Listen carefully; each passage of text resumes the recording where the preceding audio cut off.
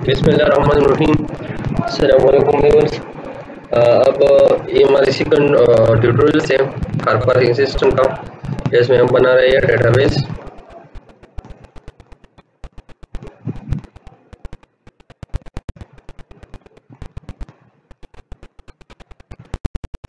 अब इसके डेटाबेस में होगा क्या?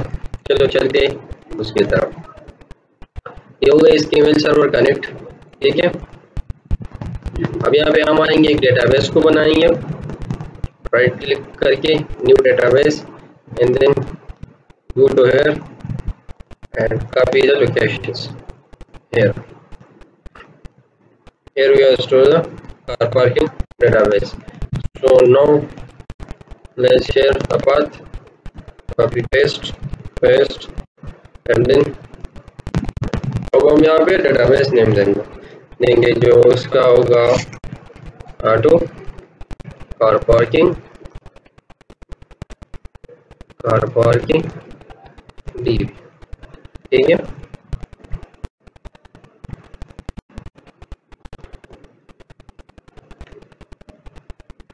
ऑटो, कार पार्किंग डीवी अब इसको मैं वो क्या करता हूँ? तो यहाँ पे आ जाएगा एक एल डी एफ़ एक M D F M D F का मतलब है meta data file L D F का मतलब है लॉग डेटा फ़ाइल ठीक है?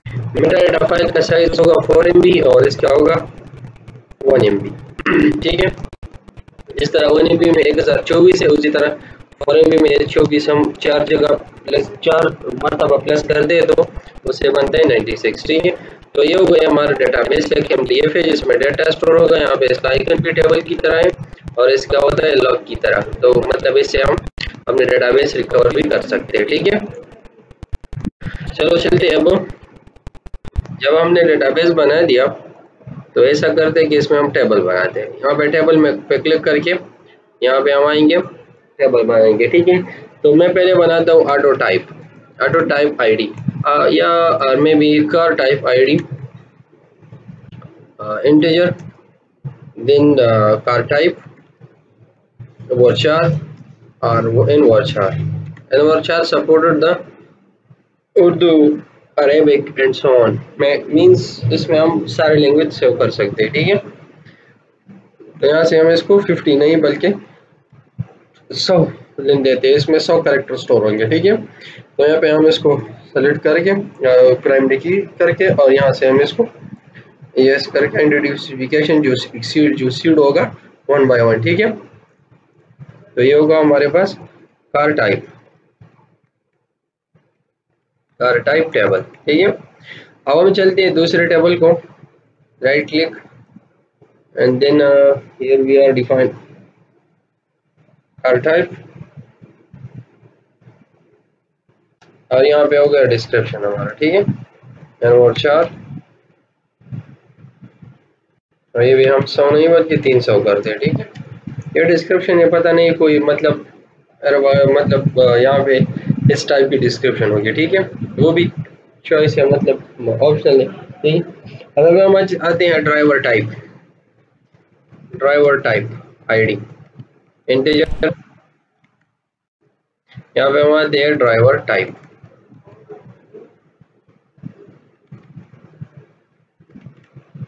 air char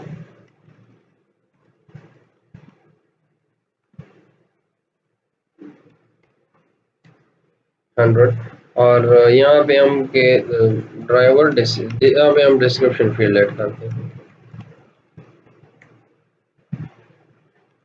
नंबर चार थ्री हंड्रेड और ये हम ऑप्शन रखते हैं, ठीक है? अब ये हो गया ड्राइवर टाइप हमने मार्क कर दिया इसको क्या? ड्राइवर टाइप ठीक है? ड्राइवर टाइप टेबल ओके ये हो गया, हम इसको ओके करते हैं, ठीक है? यहाँ पे आते हैं इसके आइडेंटिफाई को हम यस करते हैं। अब मैं इसको भी सेव करता हूँ, ठीक है? अब मैं यहाँ आता हूँ टेबल ठीक है? यहाँ मैं ऐसा करता हूँ कि पर्सन टेबल बनाता हूँ। पर्सन आईडी इंटीजर इसका होगा ड्राइवर टाइप इसका होगा ड्राइवर टाइप आईडी ठीक है? फिर होगा इसका कार टाइप आईडी और फिर इसको, इसका होगा full name char one fifty अगर इस तरह उसका होगा सी आई सी ये भी चलो मैं मैं और चार में लेता हूँ। ये ज़्यादातर होता है बस थर्टी रख लो, ठीक है? सीनाइसी हर किसी का होना ज़रूरी है, ठीक है?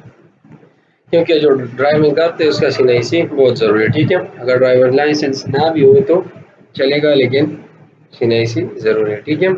अब चलते हैं, मैं डॉक्यूमेंटेशन में केस में हमने क्या रखा है? चलो सेल नंबर भी हम रखते हैं इसमें। सेल नंबर मतलब वर्षा फिफ्टी बस रख लिया मैंने। ये ज़्यादा से ज़्यादा बीस रख लो, ठीक है? यहाँ पर पच्चीस रख लो, ठीक है? अब इसमें मैं ऐसा करता हूँ कि ये भी हो गया।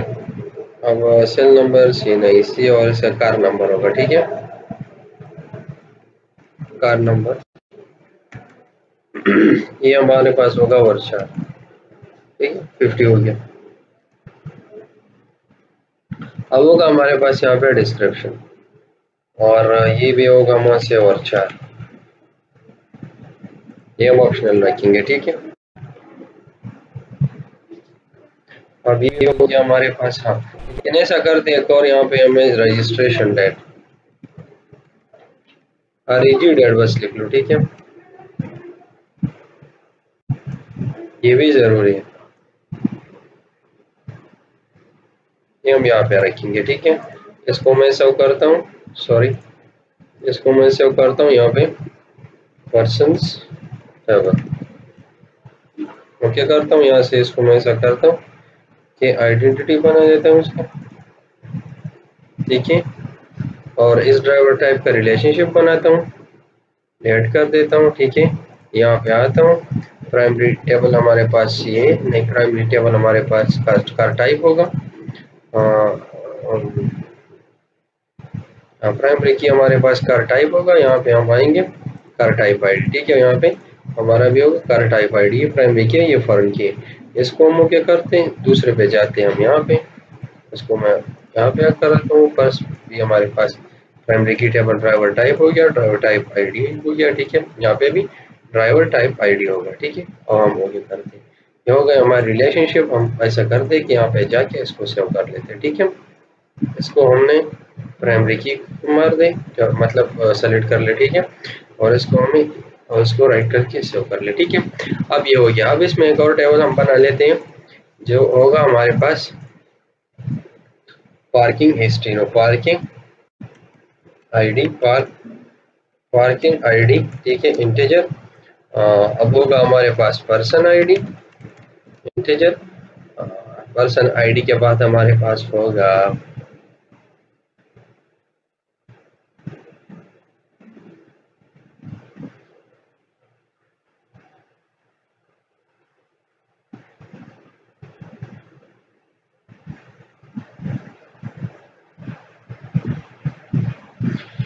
हाँ अब हमारे पास होगा एन टाइम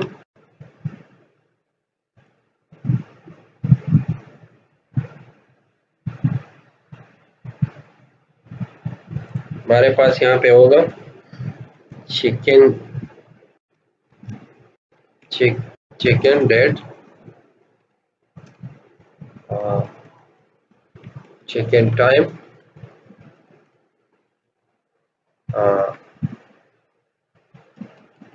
chicken out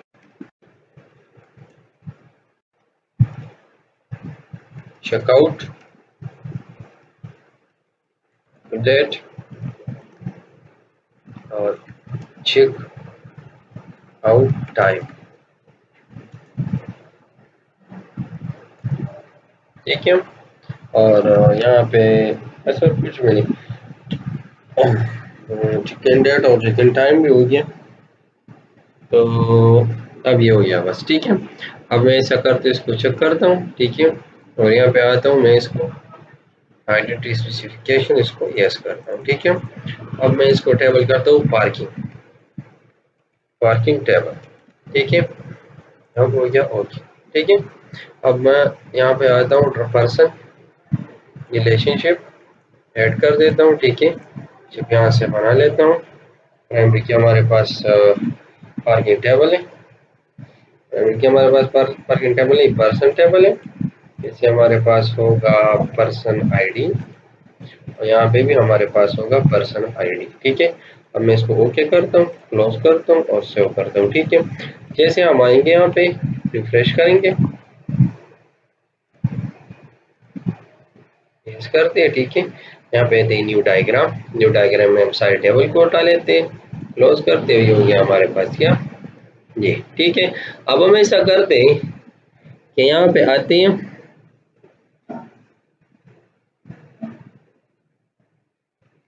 अब हम ऐसा करते हैं कि यहाँ पे एक और टेबल बनाते हैं, जिसमें होगा हमारे पास यूज़र तो यहाँ पे होगा user ID integer user name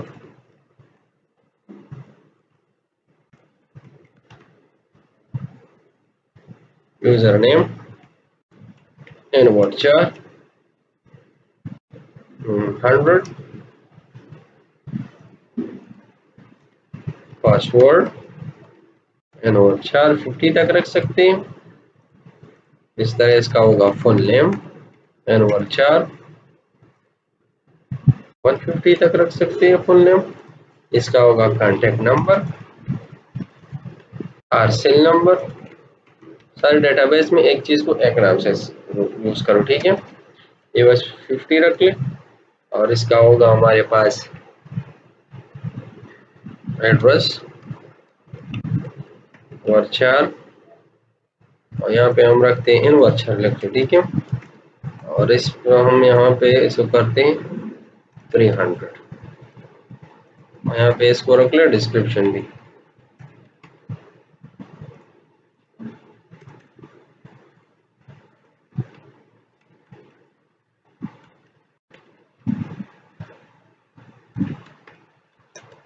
यहाँ पे इसको रखें इज़ एक्टिव जब भी यूज़र एक्टिव होगा, तब वो सिस्टम को यूज़ कर सकते हैं, ठीक है? इसके डिफ़ॉल्ट वैल्यू मैं रखता हूँ वन इसको मैं यहाँ पे आता हूँ चेक करता हूँ एंटी स्पेसिफिकेशन और यस करता हूँ। सेव करता हूँ, इसको मैं किस नाम से? यूज़र टेबल के नाम से, ठीक है? और ओके करता हूँ। यहाँ पे हम जैसे आएँगे, ये हमारे पास हो गया, ठीक है? वो टेबल हम ऐड नहीं करते, वो वाला, ठीक है? तो ये हमारे पास हो गया ईआरडी डायग्राम ठीक है? तो इसके ज़रिए अब हम क्या करेंगे? इस सिस्टम को बनाएँगे, ठीक है? तो ये हमारे होगा एक छोटा सा कार पार्किंग सिस्टम तो इंशाल्लाह हम नेक्स्ट वीडियो में बनाएँगे। इसका यूज़र इंटरफेस स्टार्ट करेंगे।